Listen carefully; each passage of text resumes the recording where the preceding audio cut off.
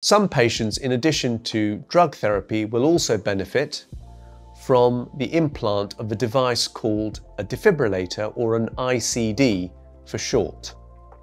The job of the defibrillator is to detect any dangerous heart rhythms should they occur and then deliver the appropriate treatment to get the heart back into a normal rhythm. A lot of my patients have a particular kind of ICD called a subcutaneous ICD implanted.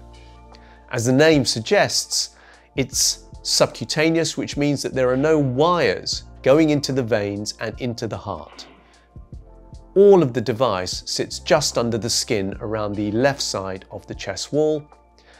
And the advantage of having a device like this is that the wires themselves don't damage the blood vessels or the walls of the heart, which can be very advantageous for some patients. The surgery for having a subcutaneous ICD implanted is usually performed under a full general anaesthetic and the operation takes about 90 minutes to two hours.